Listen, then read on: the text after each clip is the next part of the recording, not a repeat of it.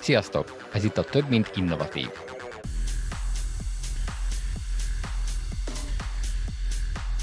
Úgy tűnik nem csak a német Gigafactory-nak vannak ellenzői. Mike Siegelnek nem tetszik, hogy a Tesla kapott 60 millió dollár támogatást Texas-tól, miközben 10 ezer munkát hoznak létre ezzel a környéken. Nem is beszélve a környezetvédelemről és a terület gazdasági fellendüléséről. Mr. Manderli szerint a 60 milliót már is begyűjtötte az állam az építőmunkások bére után. Ilon szerint pontosan ez történt. Majd hozzátette, a teljes beruházás 10 milliárd dollár fölötti lesz idővel, 20 ezer direkt és 100 ezer indirekt munkát teremtve. Majd megosztotta, dolgoznak a Cyberpunkon, reméli, jövő negyed évben kijöhet a Witcherrel együtt. Sokat vitáznak róla cégen belül, hogy általános emulációt fejlesztenek, vagy egyénileg koncentráljanak egy-egy játékra. Kiadták a 10.7-et, de úgy tűnik, hogy ez csak néhány emberhez ért el, az is csak pár napig, majd Iron szerint már kedden jön is a 10.8 egy kis ünnepi update együtt. Ezzel a verzióval már az FSD beta is több pontos navigációt kap. Hamarosan a Sentry mód érzékenységét is lehet majd állítani. A norvégiai Trondheimben 12 új Supercharger van, így már 48 töltő közül választhatnak a felhasználók. Ilon szerint Trondheim cool hangzású. Közben ezzel kapcsolatos hír, hogy Fóton épül a V3-as Supercharger, és Török Bálinton már meg is nyitották ezeket. Sokan félnek attól, hogy az új Teslák üvegteteje nem bír annyit egy balesetnél, mintha egy fém teteje lenne az autónak. Ezt sikerült megcáfolnia egy kanadai tulajdonosnak azzal, hogy autójára esett nagyjából egy 1000 kilós fa. Látszik, hogy teljesen leül az autó a felvételnél. Itt jobban meg is nézhetitek.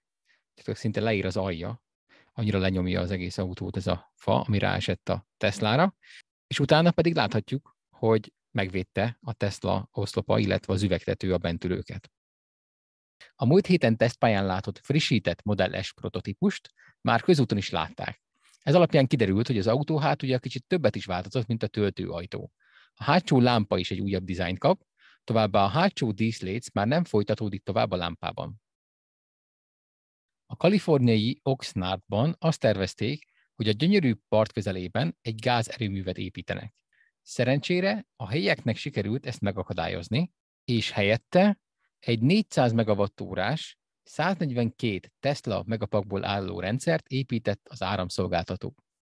Ezzel kapcsolatos magyar hír, hogy a Dunamenti erőmű is egy kisebb Tesla megapakokból álló akkumulátortelepet fog használni jövő nyártól. El tudjátok képzelni, hogy egy benzinkút ingyen ad üzemanyagot? Ez történik az amerikai Supercharger állomásoknál az ünnepek alatt, a csúcsidőn kívül töltünk. Nyilván ez jó taktika arra, hogy elkerüljék a több órás sorbanállást, ami az ünnepek alatt sokszor előfordult. Alexnek köszönhetően megvannak az első képek a Giga Texas 4 darab 4680-as gyártógépéről. Remélhetőleg ez már azt jelenti, nem kell sokat várni az új akkumulátorral szeret autókra. Elon megosztotta, ha minden jól megy, 2022 első fél évében nagy megnyitó ünnepséget tartanak technikai gyártúrákkal a texasi Gigafactory-ban. Hasonló technikai gyártúra várhatóan Shanghaiban is lesz jövő évben valamikor. Közben néhány vásárlónak feltűnt, hogy 2021-es Model 3-asokat árul a Tesla demoautóként, amikben akár 2017-es akkumulátor is lehet. Emiatt pedig vásárláskor felhívják a figyelmet, hogy akár 12%-kal is alacsonyabb lehet a hatótáva ezeknek az autóknak. Ez számomra egy nagy jel arra, hogy hamarosan ezen modellek is átállhatnak a 4680-asra, ezért a Tesla még most kiszorja ezen tesztakkumulátor csomagokat, amire egyébként nagyon helyesen többszörösen is felhívják a figyelmét a lendő vásárlóknak. Teslát beperelte egy befektető Elon tweetje miatt, amiben megkérdezte, hogy eladja részvényeinek 10%-át. A Technoking a tweet előtt ezt egyébként egyeztette a tanácssal, így nem lehet belőle gond, ez továbbá nem okozott részvényárzuhanást, ugyanakkor ennek a pernek a híre lehet, hogy csökkenti egy kicsit a részvényárat. James Stephenson emlékeztetett mindenkit, hogy csupán néhány éve volt, mikor Elon a gyártási pokol közepette megosztotta, három hét alatt új Model 3 gyártósort építettek minimális erőforrásokkal.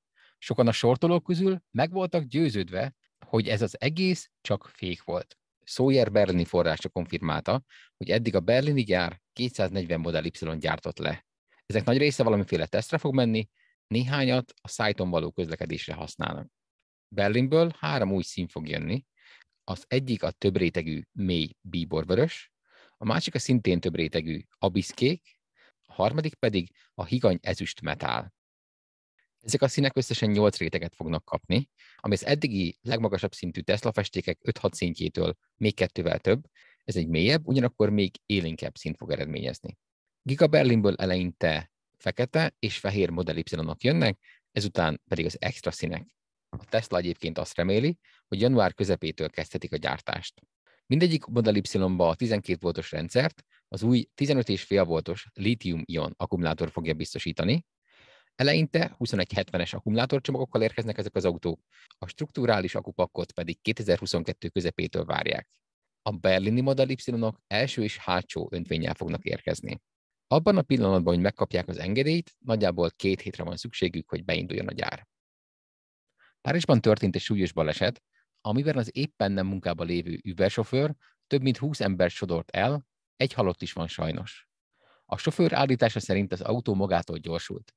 A Tesla azonnal átnézte a telemetriai adatokat, és elmondták, nem történt technikai probléma az autóval. Szimplán arról van szó, mint általában, vagyis a sofőr rossz pedált nyomott.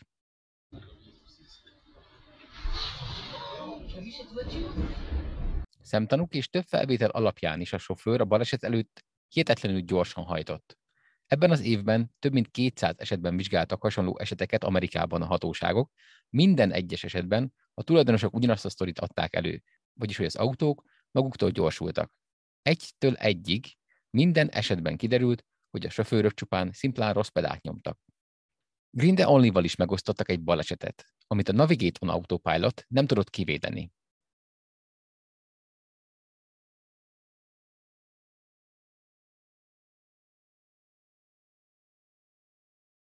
Hihetetlen módon a bentülők teljes mértékben megúzták a fékezés nélküli 120 km per órás balesetet.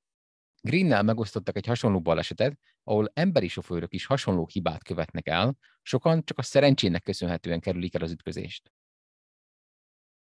Ezt csak én teszem hozzá, de szerintem a radar sem segített volna a baleset elkerülésében, hiszen rengeteg fals pozitív származott belőle, ami miatt az ilyen esetekben csak szimplán ignorálták eddig a radar jelét. Ezt Elon is megerősítette egy tweetben. Majd hozzátette, a radar sokszor alkalmatlan a kisebb gyalogosok, például a gyerekek észlelésében, ami a Tesla Vision esetében nem probléma. Európában várhatóan márciusban jönnek komolyabb autopilot frissítések, viszont néhány extra, mint például a Disney Plus, amerikai exkluzív marad a jogdíjak miatt. Az FSD 10.8 végül mégsem jelent meg kedden, sőt a felvétel napján sem, vagyis 23-án. De megjött az ünnepi frissítés rengeteg extrával, ugyanakkor Elon tweetjei szerint lehet, hogy van még valami a tarsolyban. Az első karácsonyi update a minden autóhoz elérhető fénysó. Hogy várható volt, minden modell megkapta a variálható gyors menüt, mint az új S és X esetében, automatikusan bekapcsol ezentúl a holtérfigyelő kamera, ha indexelünk, szerkeszthetővé váltak a navigációs pontok, megjött a TikTok és a Sonic is. A Politópia ezentúl már multiplayerben is játszható, illetve van Sudoku is. Ezen felül számos kis szoftver egyszerűsítést is kaptak a tulajok. A Model Y megkapta az eddigi legmagasabb pontszámmal az Amerikai Biztosítók Szövetségének, vagyis az IIHS-nek a Top Safety Pick Plus díját. A szervezet vezette be pár éve a tragikus balesetekre reagálva a videón is látható úgynevezett kis átfedéses tesztet, amiben eleinte sok autó elvérzett. Többek között ezen is kiválóan megfelelt a Model Y. Elon megosztotta, rengeteg autót kell évvége előtt átadniuk, úgyhogy szokás szerint minden segítséget szívesen fogadnak. Kellemes karácsony mindenkinek! Köszönöm minden Patreonos és YouTube támogatómnak is a támogatást, nézzetek rá a merchboltomra és az egyéb linkekre is a leírásban.